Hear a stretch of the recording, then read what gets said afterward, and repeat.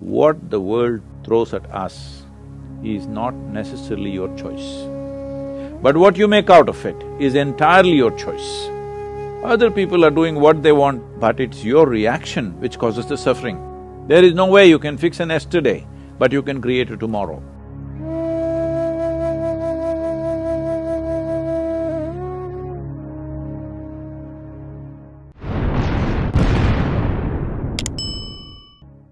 Namaskaram, Sadhguru. So I have a childhood friend. She grew up in a very uneasy family environment because uh, her parents had a very strained relationship, due to which she grew up amongst constant fights with lack of love. So across the years, uh, I've seen her grow up as a person who's become very reserved. She does not believe in love. She doesn't believe in the power of relationships. So how can we uh, sort of not let such toxic relationships impact us so negatively in life? See, everybody is finding a certain excuse for their own miseries. So, my parents were like this, so I am like this. Well, this is unfixable because we can't change your parents now, all right? Hello? Can we change them now? So, you need to understand this, especially if you have gone through tough situations in life or horrible situations in life, let's say, is it not important that you become wiser sooner than other people? Sooner than other people who grown up in comfort, who do not know what it is to see those things, is it not very important that you should become wiser? No, instead you choose that you also become miserable because they were miserable people.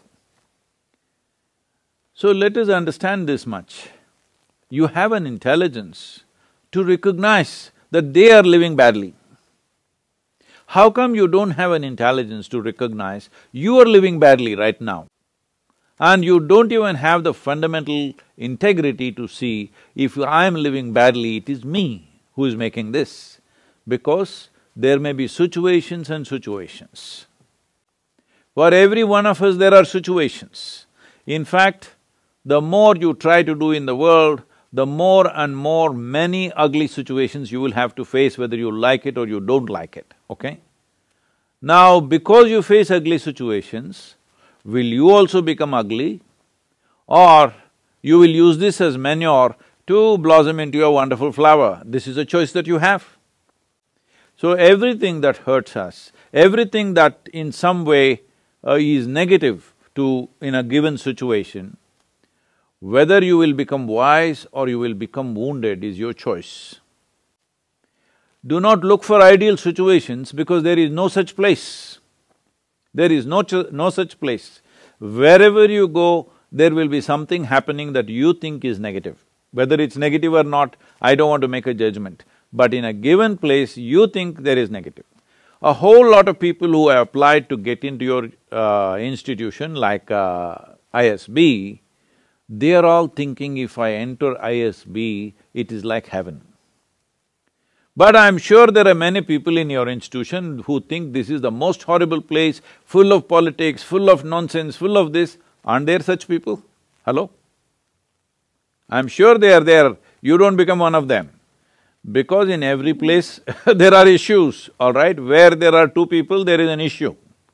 How we conduct these issues depends on are we in a state of conscious response to these issues or are we in some compulsive reaction to these issues? This determines how we conduct ourselves. This has become a syndrome all over the world because they've all read a little bit of Freud, little bit of Maslow, little bit of all this European uh, psychiatric stuff. And everybody is a psychiatrist. Because my parents were like this, I am like this. Come on, huh? Where is your intelligence? If your parents were like this, you must take a vow, you will never ever be like that. Hello? Yes or no? If your parents lived so badly, if it is true, I don't even know whether they lived badly or not. This is her perception of it, all right? We do not know how they lived, but going by her words, assuming it is true, if they lived badly, is it not your business to see never ever you commit such mistakes as they're committing in their lives? Is this… is this not what human intelligence capable of? Or human intelligence is like, you know, they study rats and make all kinds of conclusions about human beings today. Whole lot of experiments about human beings are on rodents. Be looking at the behavior of the rodents, people say, oh, human beings like this, like this. Is it not a sad story? Being the most evolved creature on this planet, I want you to understand, for you to come to this level of intelligence, it's taken millions of years of work, of evolution, to get you here, to the peak of evolution on this planet. So being the peak of evolution, are we displaying that we are the top of the world? Are we? No, we want to sit on somebody else's head and think top of the world. No, we are already top of the world as human beings, isn't it so? But look at the way we are behaving, all the time complaining about something or the other. Let us understand this. What the world throw, throws at us is not necessarily your choice. But what you make out of it is entirely your choice. Yes? What you make out of it is entirely your choice. Your experience of life, this much you must come to every one of you young people, if you want, if you want your potential to open up in the world, one important thing that you must fix in your life is your experience of life, either peacefulness or uh, agitation, either joy or misery, blissfulness or, uh, you know, uh, suffering, whatever it is, your experience, your experience is entirely made by you. Other people are doing what they want, their drama they're conducting. It is your reaction to that which is causing these experiences to you. Right now, if I abuse you, I won't, I'm just telling you, Mrudu. Suppose I abuse you, the abuse is in my mouth. It is not a bullet, it doesn't come and hit you, but it's your reaction which causes the suffering, isn't it? Suppose I abuse you nicely in Tamil language or Telugu or Kannada, this guy will understand that's a problem. But uh, if I abuse you in a language that you don't understand, with a smile on my face, you will think I'm saying sweet things to you, isn't it? And you you'll respond nicely to me. So I'm telling you, your experience of what is happening with you right now is one hundred percent determined by you. Human experience happens from within, not from outside. Outside influences are there. How far we allow them to affect us, unless they're physical situations. You're in a war zone, somebody is shooting at you, that's a different matter, all right? That needs to be dealt with in a different way. Even there, a conscious response will give you better chance of survival than wild reactions. So, the privilege of being human being is this that we have an intelligence to determine what should be our experience of life.